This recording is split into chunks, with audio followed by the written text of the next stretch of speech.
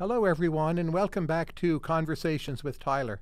I'm here today with Pierpaolo Barbieri of Argentina. He is the CEO and founder of Ualá, a major fintech firm in Latin America. He's an executive director at Greenmantle, a geopolitical consulting firm, general, all around very smart person, and his senior thesis that he wrote at Harvard, called Hitler's Shadow Empire The Nazis and the Spanish Civil War, was later published by Harvard University Press. Pierpaolo, welcome. Thank you. It's a great pleasure to be here, Tyler. Thanks for the invitation. The onset of central bank digital currencies, how will that change the world? I think it has the potential to change the world dramatically, but it's going to take time. Um, I think that the world needs a new way to send money across borders.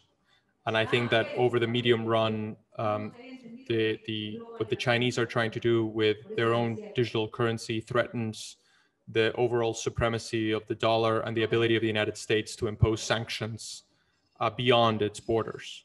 And so the centrality of the dollar uh, in the international financial architecture is threatened by the fact that other countries will want to use their new digital currencies to push forward first international transfers, then bilateral trade, and finally, potentially, um, trade and, and transfers within their blocks uh, in a way that will erode, not destroy, but erode the the supremacy of the dollar that we have seen over the last hundred years. So, in this scenario, does China have free capital movements? Not necessarily, but it does have a protocol of transfer that is digital that allows you to do um, external transfers with with some state approved entities and then bilateral trade between two central banks. And so what they're premiering with Thailand and with uh, Malaysia is very interesting because it sort of suggests a possible future where um, the, the digital yuan is used to open the capital account on a selective basis um, in ways that they can control without opening it to everyone. And the digital yuan and the internal yuan in China, do they trade at a one to one rate? Or they're in, in essence the- different currencies?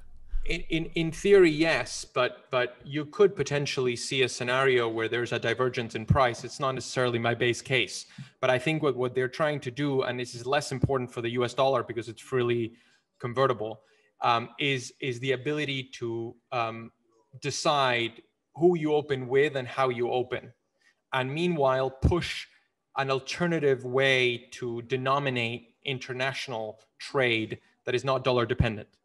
And I think that's the, the real optionality that they're gaining. But given the failures of Chinese soft power and that China more and more seems to have global preferences over what happens, why would other countries trust a Chinese digital architecture more than, say, SWIFT? Aren't they just trading in one master for another, and ultimately they prefer the devil they know, which is United States? I think for a lot of countries that will be true, but you have to consider the weight of Chinese trade for certain countries and how Chinese trade for certain countries in Southeast Asia and also in Latin America is so important that at least certain countries, driven by ideology or just the need to diversify their future options, would choose to at least leave the option open of doing some transactions in this new currency and not entirely depend on the US dollar. So I'm not saying you fully replace one master with another, but you hedge masters in a way that somebody would have done in 1910 when you were thinking about you know the British sponsored international system or the American system. And so you you're an emerging market, you might want to hedge your bets and see what happens. And in, we all have to recognize, and this is something we spend a lot of time thinking about, um, Swift is old and it's inefficient and it's extremely expensive. And so the real opportunity of digital currencies lays not in necessarily the, the, um, the novelty, but rather the possibility of supplanting a system that has been very cumbersome and extremely expensive for a long time. And so it doesn't start by just replacing the system, but it just inserting competition into the system. And so if you are going to have a transaction on Swift that costs you $200 um, and it takes years to clear, or sorry, days to clear, um, that won't change in, in, in years. You have to think about decades. And so people may want to start transacting in that in that mode in a way that lowers the transaction costs and makes international transfers easier. And so both from a firm perspective and from a government perspective it may allow you to hedge bets in a way that you wouldn't otherwise have been able to 10 or 20 years ago where swift is the was and still is the only the only real system that you have. Now i very often send remittances to mexico as a form of charity and i pay fairly high implicit fees on that transfer under this new payments architecture, how exactly does that transfer become cheaper in a relevant ground to ground sense? Where That's is the cost removed? The, the, the, cost is removed if you have a direct uh, way to connect, say, a Mexican wallet to where we operate now, and an American wallet where we do not operate.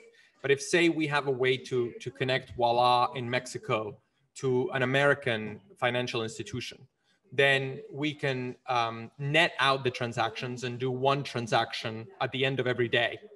Because we have a protocol of transfer so that instead of doing a swift each time an individual sends money to another individual or a firm sends money to another firm we can just net it out at the end of the day with one financial partner. But and so you, I... but you drastically reduce the cost and then you insert competition. And if you're not doing this in in i mean transferwise is doing a version of this in europe and increasingly in other countries. Um, but i think that you could foresee a world where there's a federation of financial institutions or wallets that have non-swift connections between them that allow those private protocols and you could even have it you know with a with a stable coin in the middle at some point to net it out in a way that it doesn't involve individual transactions that increase the cost. The people I send money to, they're not really literate. In most regards, they're not numerate. Do they still have to schlep to a branch office in Iguala and show an ID and pick up the money? No, that's the revolution. But that's how do they how do they handle a wallet, right? No, but I mean that that's the revolution, and and you know if you want to specifically talk about Mexico, it's fantastic because it's my my first international market, and we spent two years designing the product that we released there, and today we reached the first 100,000 accounts, and it took us less than half the time it took us to reach that amount in Argentina. The real difference in Mexico is that 70% of people is are, as you said, um, uh, outside of the system, and so they don't have a means of payment that isn't cash and that's the real one of the real tragedies of Mexico because 86 to 87% of transactions, even after COVID, take place in cash. And so the first thing that you have to do is introduce these people to the idea that you could have a means of payment that allows you to buy something or get something that isn't within your immediate uh, eight block or 10 block radius. And so when you have a card and an account, then you free yourself from that branch where uh, your friends or, or, or your family members go to to get the cash. And that's the guy that has the racket. That, that the real expensive fees are charged by the company that says, I'm the only game in town. I'm the only place where you can send these people cash. Why? Because this cash is the only thing they know. However, if you have a card and an, and, a, and an universal account, which 70% of Mexico doesn't have, then you have the ability to use that account to receive the funds and cut out the person that has that little branch. That branch is unnecessary at this point because even if Mexican networks are not as good as US networks, you still have 4G in most of the country. The problem is that we cannot give people accounts. And across Latin America, the reason we started Ualá is that over 50% of adults are in that situation of never having had a payment mechanism. You need to make it super easy. But it turns out you can teach people how to use a MasterCard because everybody wants Netflix and everybody wants to have the ability to have Spotify. So once people learn how to use the account and the card, then you can boost that and give them the ability to receive funds in those accounts. And then you can, you know, it, you don't have to do the financial engineering at the person level. You do it at the company level, but the person sees radically lower transaction fees. Okay, so my friends, they're comfortable with prepaid cards. What does Ualá offer them that a normal plain old prepaid card does not? Well, first of all, we're a debit card. Uh, in Mexico, we're fully regulated as a debit card. And so what we give them is the ability to build an ecosystem from the card. A prepaid card usually is issued in emerging markets by a company to spend only on that company. So it's an Amazon prepaid card and a Netflix prepaid card. So they go with cash and they literally exchange that cash for a card that can only be used on Amazon. The beautiful thing about a Ualá account is that the account can be used for anything and the card can be used for anything. It sounds revolutionary in in uh, for an you know it, it sounds like nothing new for a developed market but it is revolutionary for an emerging market. Why? Because what you're giving them is the ability to transact in anything. And so you're doing away with one of the biggest costs that they have and the reason they use prepaids in the first place which is that whenever they talk take cash they charge you a fee for turning that cash into an amazon prepaid card. The little spot in mexico the little bodega charges you a 2% fee. And then they charge Amazon too. We do away with that. And so we say there is no digitization tax. And so if you have 100 pesos, you'll see 100 pesos reflected on your wallet card. And suddenly all these people that are now over 100,000 in Mexico say, wait, wait a second, you just made digital money as cheap as real money. So why would I use money? In the physical sense, I use digital money because with this, I don't have to worry about my cash being stolen. I can um, use different services. I can pay my bills without having to pay an extra to the to the guy there. Eventually, I can receive a remittance without having to pay an egregious fee. I can top up money. I can re retop my cell phone, which also other people charge for, and we don't. And in the meantime, we're building that person's credit history so that like we're doing it in Argentina, but we're not yet doing in Mexico. I can then lend you against that credit history that is now digital. Because before, when you transacted only in cash, there was no way to know if you were going to pay your bill. But suddenly, if I know where you pay your bills and how you pay your gas and your water and how much you spend on Netflix and how much you get every month from your friend across the border in the United States, then I can finally create a credit history in a way that is more transparent and frankly easier than what existed before, where 70% of the country was outside of the system completely. Where will a cashless society come first? I think in in uh, northern Europe and definitely I mean China is headed that way. I think and that why, that why in those countries and not others? Like in the U.S., I mean, currency per capita is rising. That may be held abroad, but still, currency is far from disappearing. No, absolutely, and I think the dollar is very particular because a lot of emerging markets people want to save in U.S. dollars. I, uh, as you mentioned earlier, I grew up in Argentina. Argentines hold an amazing amount of physical dollars because they don't trust their banking system after the implosion of 2001, and so I think that it'll remain a constitutional right to hold cash if you want. Cash is anonymous in a way that a lot of people value. Um, but I think that that there are societies in which you basically don't need a card. I, I, I, you know, when I'm in New York, uh, I don't remember the last time I was, I was, I used cash in New York City. And so I think a cashless society is driven by the fact that the regulators want to see a lot of transactions, as in China, but it also could be driven by the fact that from a convenience perspective, you can create a better credit history without having to deal with the difficulties inherent in cash, which is dirty, expensive for the state, hard to manage, easy to steal, hard to save on. That and so I think that that in places like Sweden or Denmark, um, cash is going away very quickly. The problem is that there are certain regions in the world, and that's what I do. What I do that where you know 50% of adults have been completely left outside of the system and they don't have a way to transact because the banking system gave accounts to the people they wanted to give accounts to and they left everyone out which is why those banking systems are so damn profitable you know the mexican banking system which serves only 30% of the population is amazingly profitable it has much better margins than a european banking system or an american banking system because they just said well you know i'm going to serve this strata of society and leave everyone out and it's what somewhat cartelized, right? Exactly. And the same in Argentina and the same in Brazil, where another company like Nubank is is triumphing. And so and so what we see is a Latin America where we need a lot of people to provide those services so then we can can build the credit history and and we can insert some competition into a system that had been kept for very few people by a few people. And so I always say the same thing. We ask the public to believe in democracy and capitalism and then we don't even give them a way to pay for Netflix and so it's a very inherently unequal situation where we you know when we launched Ualá in argentina people used to sell um, netflix subscriptions on our ebay which is mercado libre and that's outrageous because netflix prices their services to be freely available to anyone for you know in these in these geographies for four or five dollars a month and yet they couldn't access it because they didn't have a payment mechanism and so the payment mechanism opens the door to a credit history, to savings funds, to insurance, to making all those financial services that are readily available in the developed world, in the developing world, that are really interesting cost structure. What factor will determine whether or not crypto outcompetes you? I mean, I don't think crypto is competing with me because it's very difficult to go from cash directly to 100% crypto. And but so, an you know, intermediary can do that, right? So there can be a startup akin to yours, but the transfer occurs in crypto. There's an optional final conversion into cash. If you're dealing with people at the wallet level, why not trust crypto more than a government currency, especially for Mexico and Argentina, two countries, the history of which I don't need to tell you about. Oh, actually, um, Mexico has pretty good financial stability recently. yeah, 1994. Yeah. So um, I, I, we see very high levels of adoption in in places like Venezuela and Argentina for crypto. I respect that. I think uh, Bitcoin is is a very useful store of value. Not great to transact on your daily needs. I, I, I don't remember ever seeing anyone pay for a coffee in in Bitcoin. And those people who used to sell coffees in 2011 for for Bitcoin now they want to um, you know, uh, forget about those transactions given what they missed out on.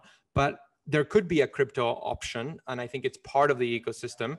But when you think about it, when 50% of adults have never had a payment mechanism, what they want to do when they first get it is sign up for Netflix, sign up for Spotify, pay for a game on PlayStation, pay for something on Steam, buy something on Mercado Libre or Amazon. None of those platforms take crypto. And so the day after tomorrow, when they do, maybe there's a, an argument to be had, but you know, only only you know it's not a first transaction you do when you digitize to go buy a Tesla in Bitcoin. It's quite say, rare. Say you're outside of the earlier phase of your company where you're just seeking to build the size of the network, right? And become a kind of dominant source of network externalities. And you have a portfolio, you're taking money from people. In a sense, that's like deposits. For Ualá to make money, don't you need to make loans? And if you make loans, then aren't you a bank? That's a fantastic question. So um, it depends on the geography and it depends on what we do. First of all, we operate like a narrow bank. We are we are um, we can have the argument about whether I should be regulated as a bank or not. In fact, it was reported on Friday that we bought a traditional bank. Um, although we are waiting for central bank approval to integrate it because obviously you need central bank approval. Um, but we've always operated with 100% of reserves. So we never lent out deposits. And so the rule in Argentina has been if you operate with 100% of reserves and legally you don't lend those deposits, you do not need to be regulated like a bank. Why can I have a business model that that relies on that? First of all, we do have lending, but we do it with investors' money. We don't do it with our deposits. So the deposits are kept on separate accounts that are never lent, because otherwise I would violate the rule by the central bank, and therefore I would have to be regulated by a, by by the central bank as a bank. And so unlike other fintechs, we don't derive most of our income from lending. In fact, um, most of the revenue we derive is either from the very low fees that we charge on asset management, which are the lowest in the market. We charge less than one fifth of our competitors because I'm sure you are not going to be surprised when I tell you that in Argentina and in Mexico, the incumbents charge four or five percent fees on AUM just to give you a low risk money market fund because inflation's high. And so they charge you egregious fees. Second, we, we make quite a bit of money on interchange. In that sense, we're more similar to the United States than we are to the European neobanks because interchange in Latin America is quite high. And so we can make a lot of revenue just by having those MasterCard transactions on our network versus someone else's network. And thirdly, we're also in the net, in the business of merchant acquiring, which is growing a lot. And so once we've built the network on the payment side, we can build the network on the merchant acquiring side, which is kind of reverse Square. And Square started with merchants and then it went into uh, personal accounts. We started with personal accounts and eventually moved into merchants. But all those transactions are amazingly profitable. And we are once again the most competitive um, player in the system because lo and behold, the only player that existed in Argentina doing merchant acquiring at this level, giving you live transactionality, used to charge 6% of every transaction versus 2% that you pay in the United States. Why? Because there was no competition. So what did we do? We launched a product that was 45% cheaper than the competitor. And guess what? We're growing 100% month on month. And so we have a suite of, of products that allows us to be competitive and drive a lot of revenue without having to lend deposits. I can see if what you're doing is forcing cartelized banks to become more competitive. But it seems to me, in the broader sweep of economic history, which you know quite well, 100% reserve banking has never really been competitive. And won't it be the case you simply evolve into being a bank or merge with a bank with superior software capabilities, but you have to end up lending just to stay profitable? I don't think you need to end up lending. I think that lending eventually becomes 20 to 30 percent of your revenue share. That's what we project five years from now. But it's not, un, you know, there are other fintechs that rely more heavily on that because they don't have a full ecosystem.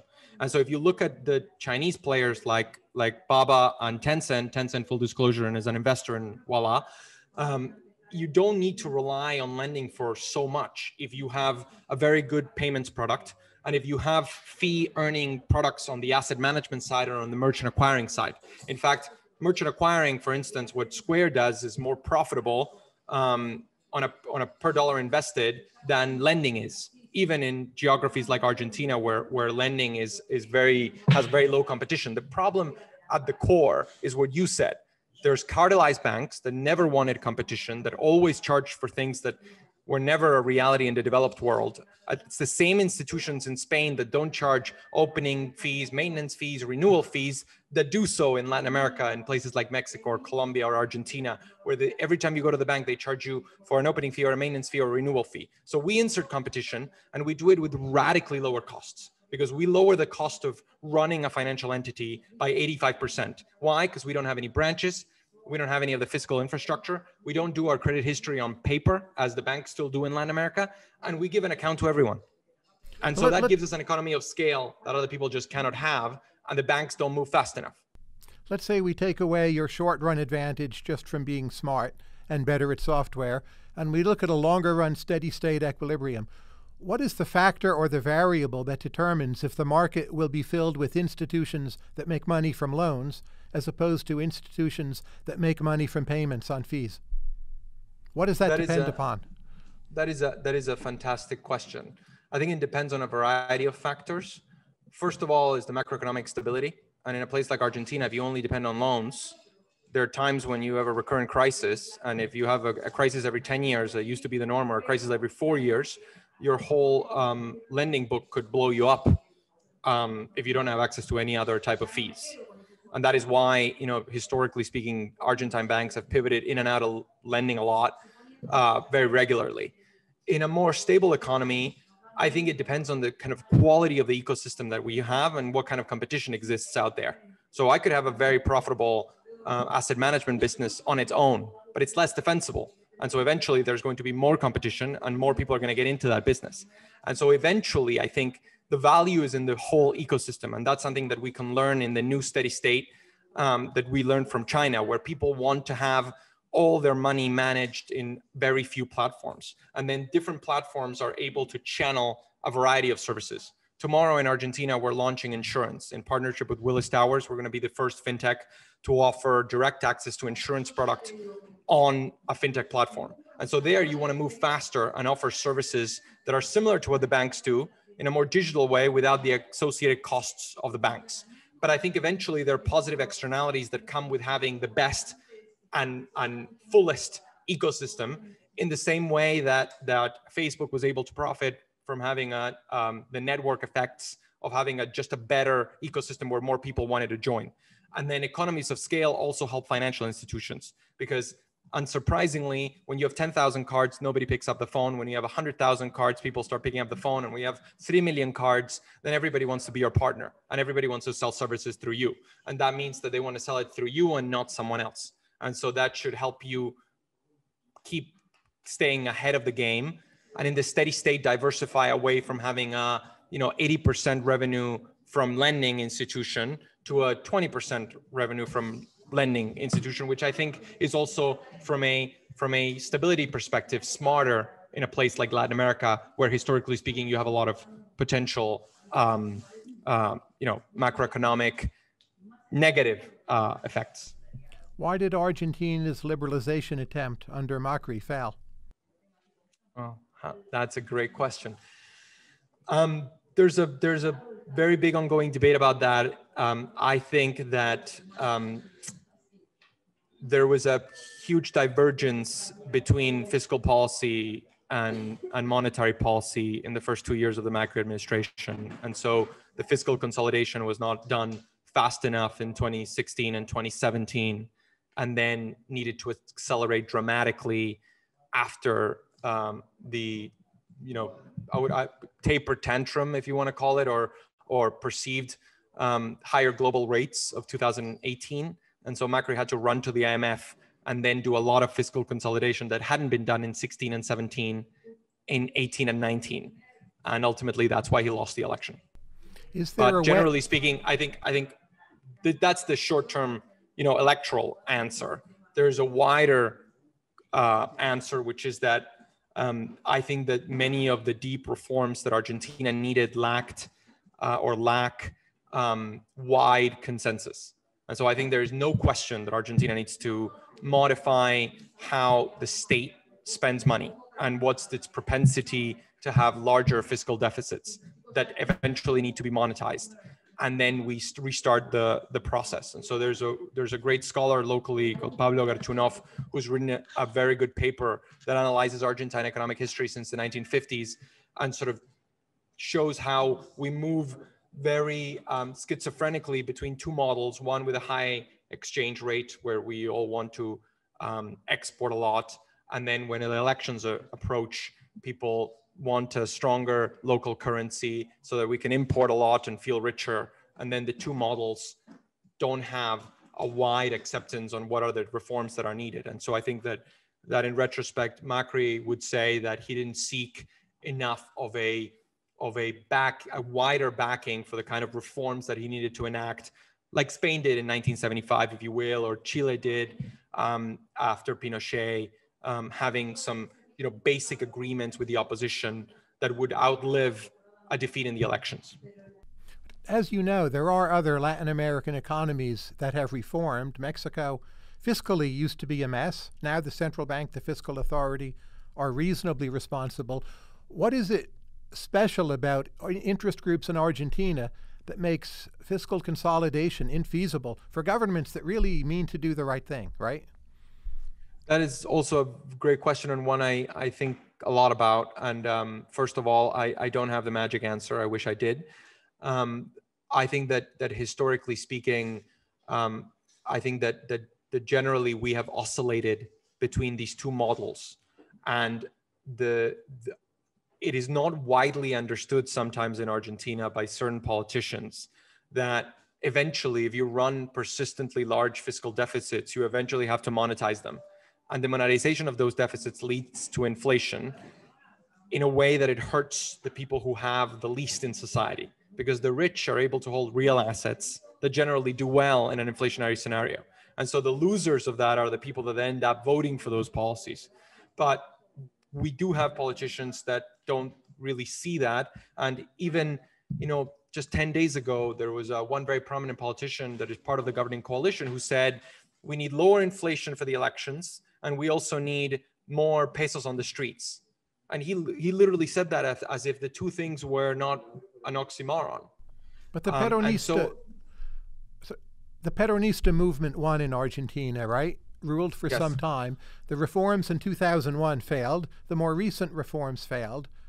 Is it that Argentina? No, I think, I think look, I, the Argentina was Argentina was an amazingly successful reform story in 1995, 1996, 1997 and so, you know, the convertibility that Domingo Cavallo brought and, and the liberal presidency of a Peronista, Carlos Menem, in the 1990s under the aegis of the of the Washington Consensus was successful. And I think the problem there was that Argentines became enamored of of the idea that they were suddenly a rich country, that were suddenly developed, that were suddenly had this peg that nothing could touch, and so they kept it too long.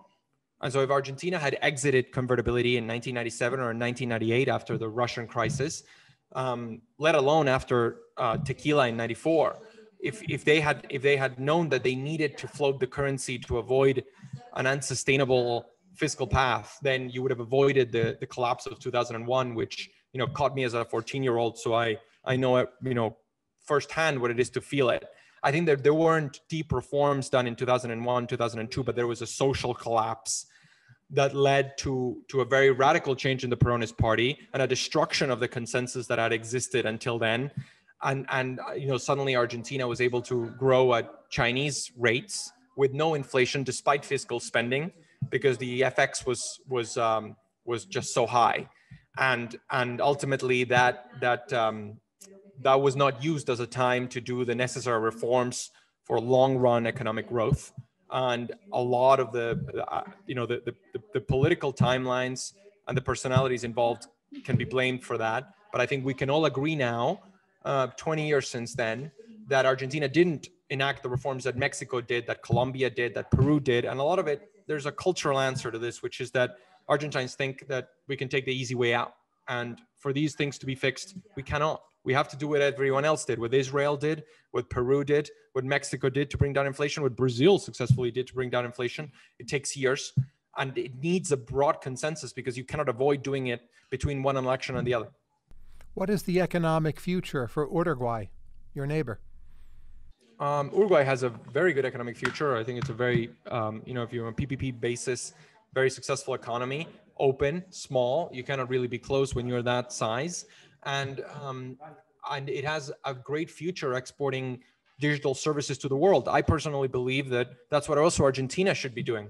And that's part of why I did Ualá and started Ualá here is because I think that Argentina has needs a digital soy. You know, Argentina has had a very efficient agro exporting sector since the 1860s and 1870s, which led to its fantastic wealth in 1880 and 1890 and 1900 but it hasn't reinvented that model and hasn't reinvented itself. It still has a fantastically good educational system. It creates a lot of interesting companies and great talent. And so it should be exporting services. And I think that's a little bit of what Uruguay is doing with a more pro market, pro world integration view that is making Uruguay richer every year, more developed every year, and more competitive every year. Will Miami be the tech center of Latin America or some other place? That's a great question. I think Miami is making strides, um, but for now, the the the tech center of Latin America remains Sao Paulo. I mean, the Brazilian companies are five, seven years ahead of the rest of the ecosystems in the region. I think that it's a great place to start a company, and we had incredible success story. You know, starting with my competitor Nubank, which was started there, as well as Banco Inter or Quinto Andar or Loft, which was started from by a friend in college all those companies are there and there's readily available capital. Everybody wants to invest more in Brazil and you have a huge domestic market. So as I always say, you know, when you're a Brazilian company, you have zero incentive to go abroad because you have such a large internal market in a way that also the United States does. But you know, a lot of the internet revolution, if you think back to 1998 and 1999, started with Argentine companies. That's when Mercado Libre was was started in Argentina. That's when Wences Casares started Patagon. Um, and I think that that Argentina does have a great talent pool, and it needs a better ecosystem, which has been eroded in the last 10 years. And I think that that's starting to change with companies like Auth0 um, and and Despegar here, and obviously Mercado Libre, which is still a huge employer, and of course Globant. Argentina has a good chance of, of regaining lost ground, but for now, the capital of tech in LATAM is is very much Sao Paulo in cultural terms, the startup market in Latin America still seems underdeveloped to me. So a few days ago, I looked at the per capita income of Paraguay, right, which is not a, country leaps to people's minds. It was about yep. seven times higher than that of India, a highly imperfect comparison, but nonetheless much wealthier than India. Yet, in the world of startups, India compared to Latin America it doesn't even seem close. And what culturally do you think is keeping Latin America behind, or would you dispute the categorization? I would say that that um, first of all, there's a huge cultural difference in the in the proclivity of people to go into startups. I think it's only become cool in in uh, in recent years to to you know become an entrepreneur in Latin America. When I even when I grew up in the in the early 2000s in uh, in Latin America, it wasn't very cool um, a lot of the people that have gone abroad from Latin America stay abroad. They don't want to go back. And I lived 12 years in America and then returned to Argentina to start Ualá. And but but those two lead me to a more important point, which is the availability of capital.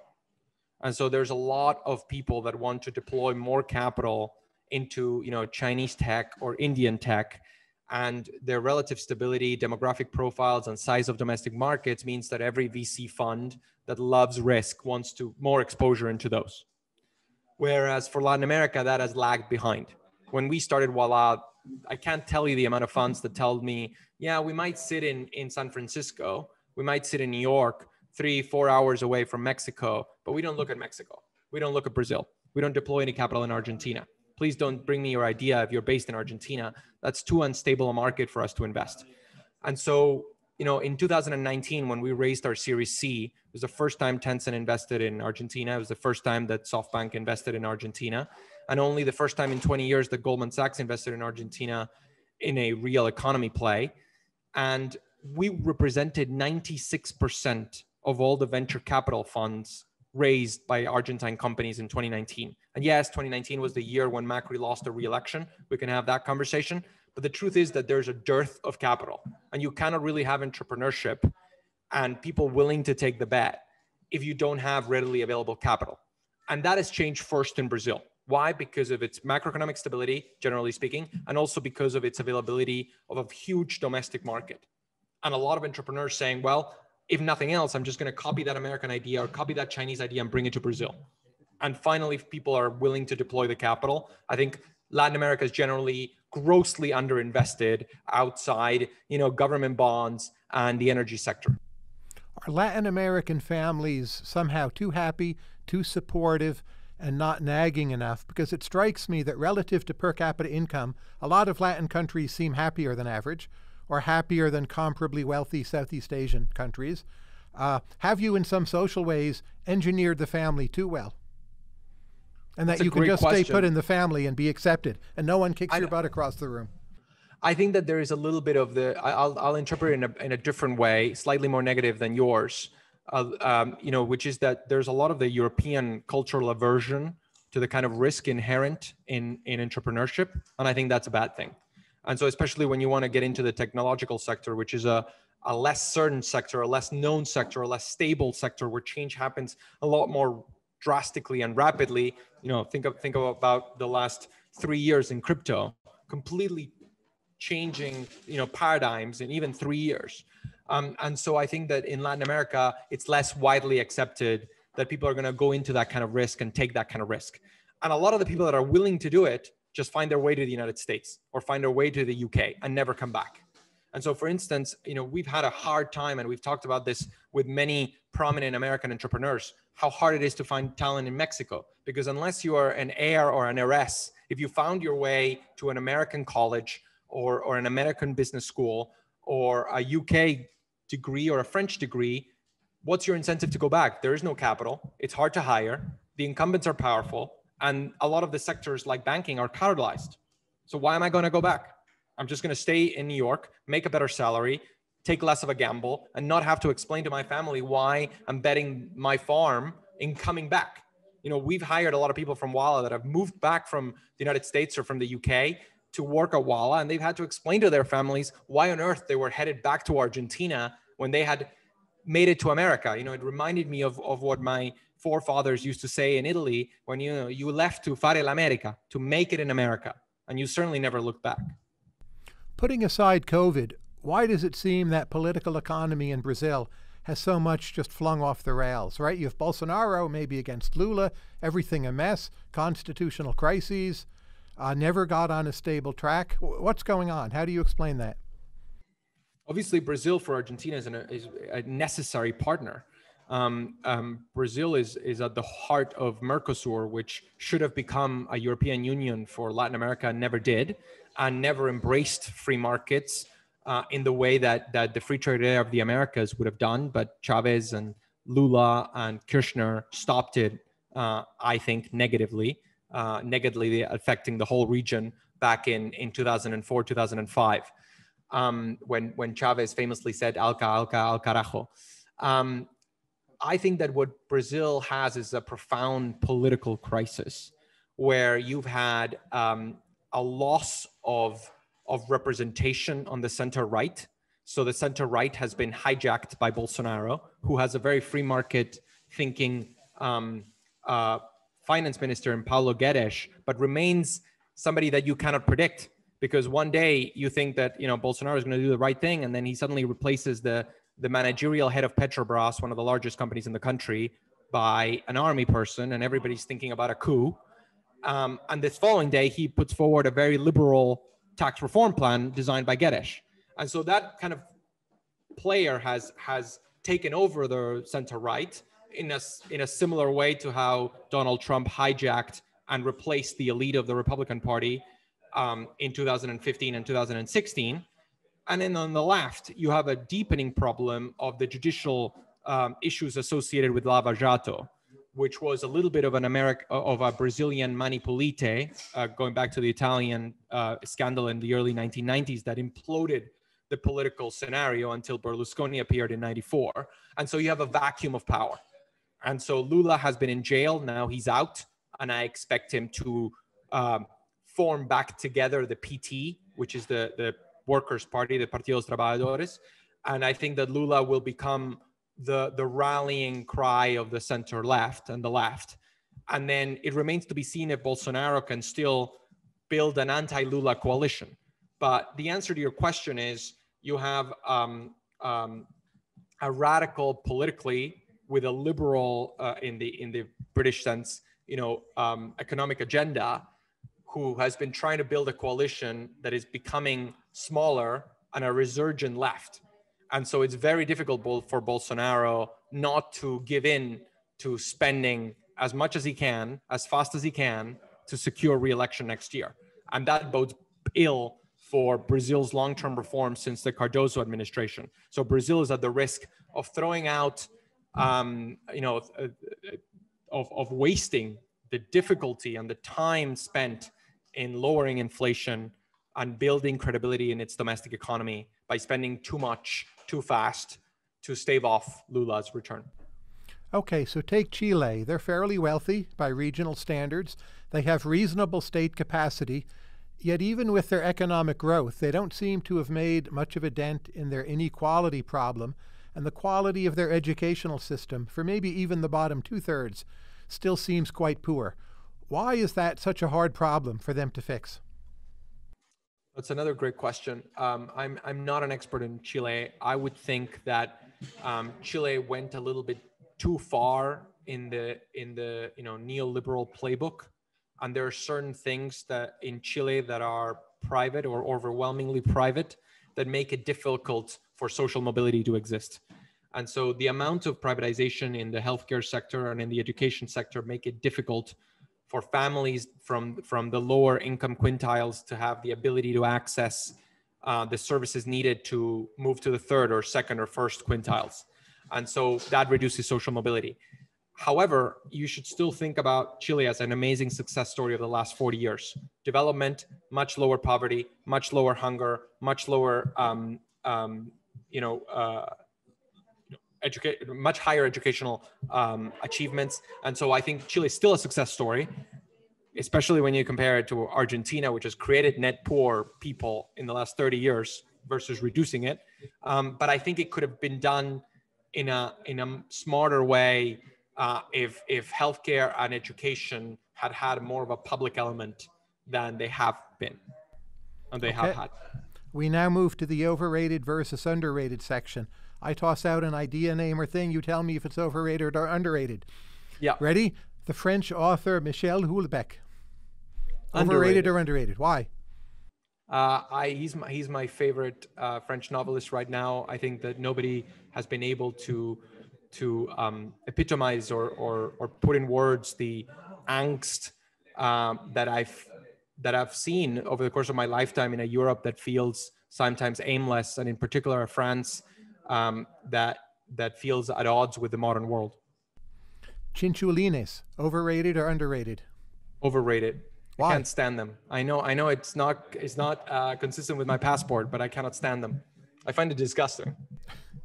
Wittgenstein, um, underrated, I think, essential uh, for for you know 20th century philosophy and how we conceive of ourselves in the world. Who's the philosopher who's influenced you the most, including in business? Um, that is a that is a great question. Um, I would say I've I've um, that really threw me off. I um,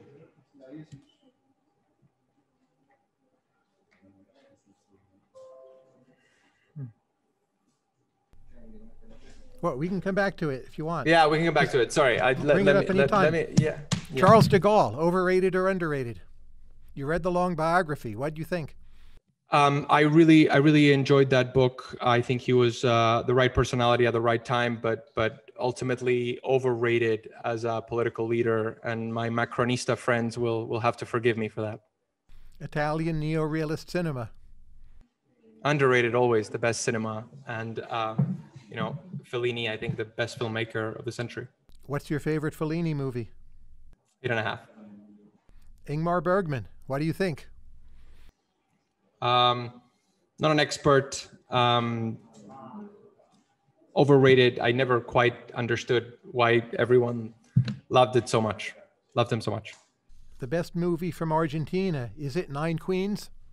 Nueve Reinas? Um, it, it is it is a strong contender, uh, but I would think um, El Secreto de sus Ojos, The Secret in Her Eyes, is my my favorite film about Argentina because of what it says about the very difficult period um, of, uh, of, of you know modernization and in particular the horrors of the military of the last military regime that marked us so much that it still defines our politics 50 years since. Why is the best pasta in Buenos Aires often so cheap? So you can get because an everything amazing, but even relative to prices there, you can get an amazing pasta for three dollars, right?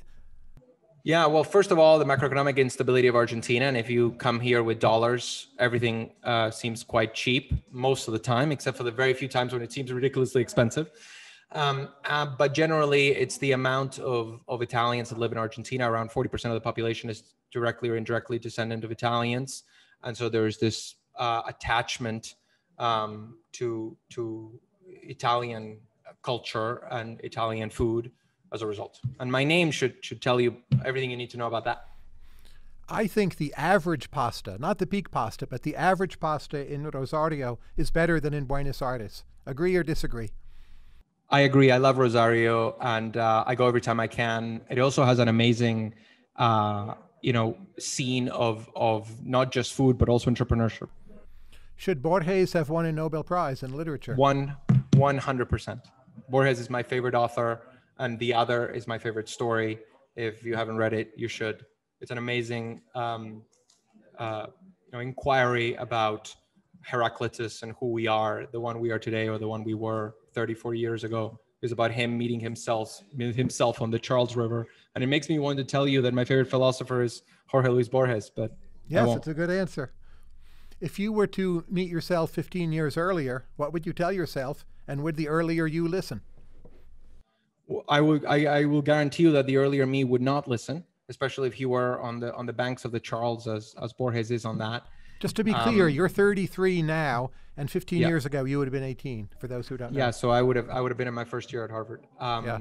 Uh, I would have. Um, I, I, I, would have just encouraged me to to to to make mistakes and to uh, enjoy the years of free inquiry in college. I often worry that the people that are there now don't get the freedom to explore ideas and explore different visions of the world as I did when I was there, at least from you know the general literature around what is happening in colleges and and what kind of dissent is accepted. Um, and I would certainly cherish my time with with professors there and and the time in the United States. I I think it's important to to really explore different visions of your life and, and areas to explore. I arrived at Harvard thinking I was going to do film. I, I ended up uh, studying history and, and writing a book about Nazi Germany and the Spanish Civil War, as you mentioned in the beginning, that nobody read, by the way. Um, and, I've read it. And so, okay, well, um, um, that makes that makes some of you, um, but um, I think that that the the it's often undervalued in the world the the great um, aspects of, of a liberal arts education. And especially when i when you come from a geography of where i come from and i see what other people studied and how they were closeted into certain ideas very early on um, i think that um, it is it, that's an, an amazing time and an amazing opportunity. And I, it remains um, a great uh, you know luck i had in life to to go from argentina to studying at harvard having the friends i I did there and, and what I learned there. And who is your best or most important professor at Harvard? Um, I mean, you know, I had I had many wonderful professors. Obviously, Niall Niall Ferguson has been a mentor, a friend uh, for almost 20 years now, um, and um, you know he's the he's the person that encouraged me to to turn my thesis into my graduate work and then a book, um, and also he he greatly encouraged me to start Ualá, um, not to mention Greenmantle where we work together, but also you know having the ability to to work with people like like Charles Maier um, and and Patrice Higonnet and wonderful historians like Stanley Hoffmann, um, you know, all of them, uh, Emma Rothschild, like all of them. I, I was just so lucky to be there. And I, I know that education needs uh, a tech revolution so that, you know, that education is more readily available to more people because it is amazingly stratified and, and opaque as it is. But Harvard is an amazing institution. And I still, I'm so grateful that somebody from Argentina could go there on a scholarship because God knows I couldn't pay for it at three years after the 2001 crisis. And thanks to the reforms that Larry Summers implemented as president and that the whole body of the faculty, you know, put together, I was able to go. So, you know, I can't even choose. Why is Spain still so obsessed with its civil war from the 1930s, which is now a very long time ago? Yeah, it's a, it's it's a, a long time ago, but as I say in the introduction of, of my book, um, you know, there's a there's there's a lot of bones hidden beneath the surface, and I think that that the civil war itself crystallized many conflicts in Spain that had been brewing for 150 years. And Niall once joked to me that I wrote about Spain because I didn't feel old enough to write about Argentina. But the process of economic decline that Spain endured since the 1830s to the Civil War, that culminated in the Civil War, um, between uh, uh, you know a Republican Spain that looked to France and a very Catholic conservative conservative Spain that wanted to turn back the clock um, are still the dividing uh, fault lines of Spanish society today. But at least Moncloa happened. At least democratization happened. At least European integration happened. And so Spain today has a developed, open, competitive democracy with a developed, open, competitive economy so people can be you know less um, uh, less tied to old stigmas but the civil war was a very dark time and um, a lot of the crimes were never prosecuted and a lot of the the faults uh, were never inquired about and so they keep coming up in culture just like the the American Civil War is still really important part of American culture and just like you know the dirty war in Argentina in the 1970s still defines our politics today it's not that unique. Did the Nazi German desire to use Spain for mercantilist purposes ever have much of a chance of succeeding? And what I have in mind, if I look at the German balance of trade with Eastern Europe, which was another area that was to be used for mercantilist purposes, as the German economy recovered, the balance of trade worsened with Eastern Europe. And wasn't simply the same going to happen with Spain in any case? And this whole big Nazi plan was not really very wise? What says you? Uh, that's a great question. Um, I think that what the Nazis needed from from uh, Eastern Europe was was different, uh, and yet I think that if Schacht had been able to implement the kind of policies that he wanted to start implementing in 1937 to avoid such large percent of of net new GDP going into weapons, they could have had a different type of way out where they could have tried to craft. I'm not saying they would have been necessarily successful, but tried to craft an informal empire over Europe um, that would have allowed them to um, reduce the dependence that they had on final armaments. But I don't think that the leadership of the party and at that point of the state would have gone with that because the general conclusion of my book in terms of Nazi economic policy is that unless you really tap the brakes in in mid 1937 war was the only possible way out. Because at one point as as adam tooze wrote masterfully in wages of destruction you know you ended up having 20% to 25% of gdp going into armaments. And that's wholly you know you're not going to sell that to the french. So um, ultimately war was decided upon as early as as 1937 now, you could have become a historian, you could have become an academic, you didn't. But that modal possibility, to bring up an idea from Borges, yeah. how has that shaped the kind of founder you have ended up being? Because it's unusual background for a founder, right? It's certainly unusual. And, and, one of my investors said, I broke two rules with you. I never invest in Argentines and I never invest in non-technical founders. So I said, great, fantastic. Um, I think I think um, the, the, the problem of of contingency uh, and understanding contingency in history allows you to be a great founder. Um, and I think that obviously learning and knowing financial history is essential to wanting to disrupt a cartelized uh, you know group of banks uh, because I've seen it elsewhere and I know what what universal banking can do to a society, to its development possibilities, to social mobility, to democratization, um, as I was saying earlier. And but I think that that you know understanding possible paths and and you know here's a good time to to bring up another another Borges and and the, the divergent paths of your history um, and the possibilities of building a product are are good for bringing together a team. I think ultimately what a founder does is provide a vision and hire people. I can't claim that I wrote a line of code, and I can't claim that I, um, you know, run everything in the company. But the key job is to be to inspire, to set the direction, and to trust people and hire well. And so when you have the better people, the best people, and I've done that in a way that is different from most Latin American founders because over 15% of the company is owned by my management team, and that excludes me that can only be born out of the humility that comes from the idea that I cannot do it myself. I cannot write the code, but I know where, where we have to go to disrupt the system because historically I've seen it elsewhere. I know what needs to happen to have universal financial literacy and financial education so that people can be integrated into the system. So I want us to take us that way.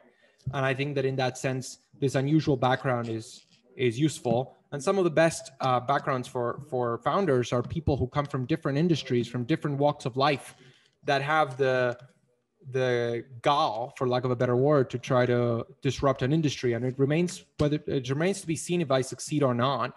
But if it does it will have something to do with the fact that we wanted to start from scratch and ask the basic fundamental questions in a different way any, anyone can equitize, and many companies do. What is it you think that you understand about spotting talent, possibly from your background in history, that other founders might not?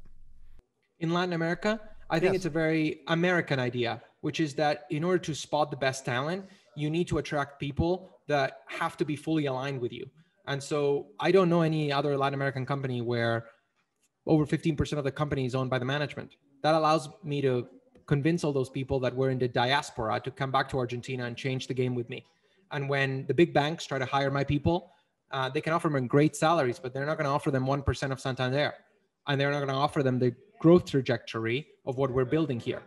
And so um, that's how I've gotten people to quit from Goldman, from JP Morgan, from McKinsey, from Mercado Libre to join Ualá and sharing the dream. And I think that that as a founder, you have to recognize that you don't have all the answers.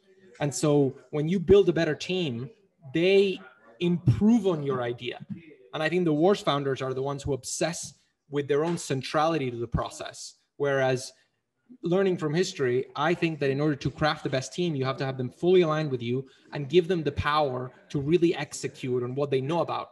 Because I'm, I can not tell my head of cards who ran cards at Citibank for 25 years how to do a credit card. I cannot tell my head of ops who used to run ops for for a division of JP Morgan here how to do ops. I just have to trust them and and have the humility to know that they know how to do things that I just couldn't learn how to do. Let's say you're speaking to some other founders and they're interested in learning a bit of history, but obviously their their time is limited. What kind of tips would you give them for how to get started on that project? That's a great question. I think that that uh, the best way to to learn history is to read history. And so I would choose a timeline uh, or a time period that you like and and read some great books. If you like economic history, I would recommend, you know, Wages of Destruction by Tooze if you're interested in the Nazi period. I would, um, you know, if you if you want to learn about the First World War, for instance, I would um, I would recommend uh, Sleepwalkers or or Niall's Pity of War. Um, you know, great books teach you a lot, and biographies are a great way to to get there. Obviously, Chernow's biography of Hamilton has been so widely recommended that it cannot be more recommended. But you know, lately I've read a fantastic biography of of Bismarck. Um, I read a great um, a great biography of Gabriele D'Annunzio, the the proto-fascist poet, um, and I think that that it could be a great way to to read about personal histories if you don't love, as I do, diplomatic or military. How old fashioned of me, economic history. Last two questions. First, other than the general benefits of exercise, how does going for a run improve your thinking? It clears the mind. I um, I work, you know, um, 14, 15 hours every day, and um, the the run is, I think, when I crystallize my best ideas. And I think it's very important to save some part of the day to to really think and um, and and clear your head. And I always go in with problems and come out of the run with solutions. Final question What is your best weird work habit? Uh, my best uh, weird work habit is that um, now I, I, it's actually a non-work habit. Um, now I, I, I really never try to do email in bed. I used to do a lot of email in bed, and cutting that out has been fantastic to being able to sleep better and and and you know create a boundary for your personal life. I think that the importance of sleep is one of those things that has been massively undervalued in the last 30 40 years with our work obsession. And i god knows i work a lot but i wouldn't be able to work um, as i do if i didn't sleep well. And so not doing email on your bed not doing work on your bed is absolutely essential for that. And that's a relatively new development. Um, and so you know i forced myself to actually get up uh, turn on the coffee machine uh, open the windows and, and only then think about my email. Pierpaolo Barbieri, thank you very much. Great pleasure, Tyler. Thank you for your time.